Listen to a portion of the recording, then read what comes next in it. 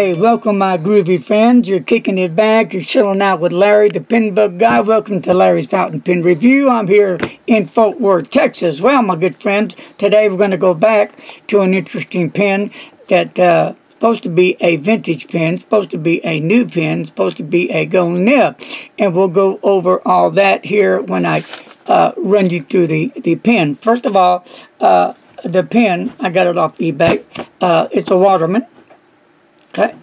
And it comes in the case right here. Your standard usual Waterman blue case. Okay. And it does say box made in Thailand. Okay, that's interesting. So open it up. There's your pen in the back. There's again your uh, Waterman logo, name, very nicely done. This pulled out and there's nothing underneath. And here is the pen. And we'll close that up. And let's talk about the pen. So, I, I won this in an auction at a great price. So, it's the Waterman fountain pen. Vintage black with gold trim. Condition new. Okay. And it doesn't look new to me. Uh, got a medium-sized nib. Screw, it's a pull-off cap with a medium-sized nib. Going to get a close-up of that. And it's supposed to have a 14K gold nib stamped Waterman, Paris. Pin was only used once in order to test it. And it has been stored in pristine condition for the last 12 years. Uh, and pin shows the Waterman uh, seal on the stern right here. So, Okay, so I, would give it that sitting on a shelf that long for that many years. That's what attracted my attention. Now, I didn't see uh, 14K stamped on the nib. So, unless it's deeper into the grip section, then I don't know. I have to pull out the nib and check that out. But I will in time because I need to see if it is a 14K nib. Uh, screw off cap. Now, the weight of the pen is 23.6 G's. Uh, it's made in France, and the length of the cap, pen cap, as you see it, is 5.33 inches. And it does post nice and securely at 5.8 inches. It's very comfortable to write with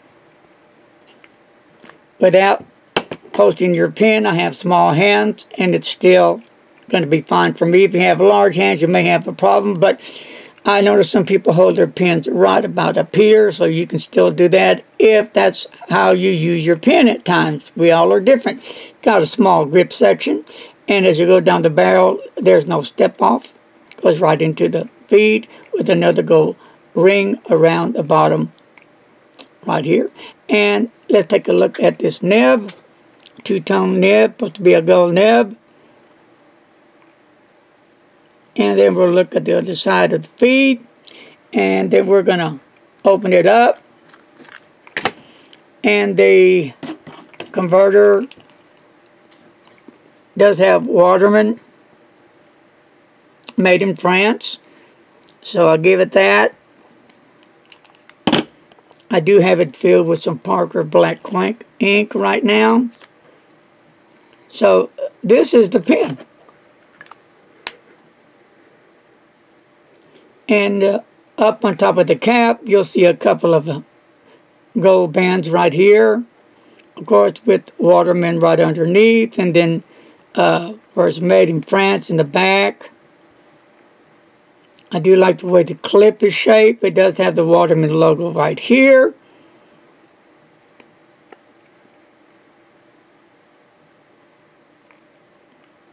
A nice looking pen. And I got it at a great price. So, not complaining. So let's take a,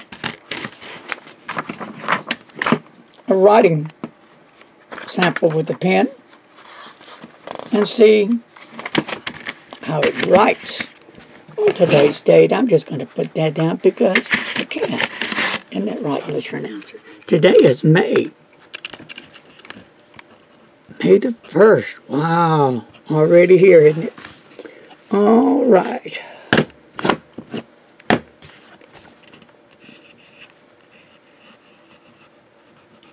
It really writes nice. I like the way it writes.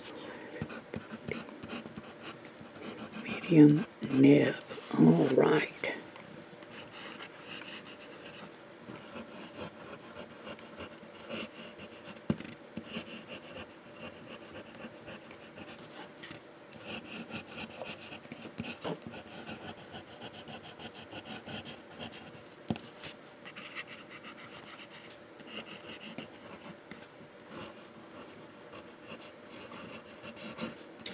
Amazing. Oh. Good little wet test here. Nice wet nib.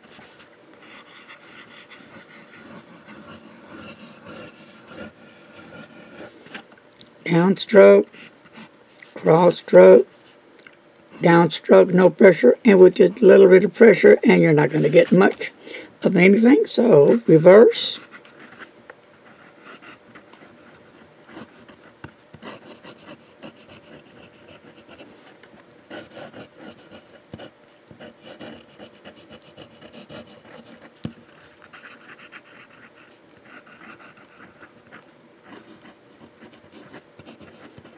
And you see it does do reverse writing very nicely. Downstroke with the pen held the regular way. And just for the heck of it, there it is on reverse. You definitely see a different line variation there. So there you have it, the Waterman. Uh, I'll probably have that nib off sometime next week and check it out. But uh, regardless or not, I do like the pen. It's a good looking pen. It's comfortable in the hand. 12 uh, year old pen sitting there, been used once. And pens weren't made just to sit. Pens were made to be used. They need to be loved. They need to be held in someone's hand. Uh, so, if you see your pen just laying around that you haven't used in some time, pick it up, ink it up, and show it some love, because that's what we're all about. That's going to wrap it up today on Larry's Fountain Pen Review. If you haven't hit that subscribe button yet, hit that subscribe button. Fire it up, baby, because you know what? We're going to rock when we get on this channel. Ain't nothing but a good thing. See you soon. Peace, love, and all that jazz. And don't forget, don't text, don't try. See you later, and I'm out of here.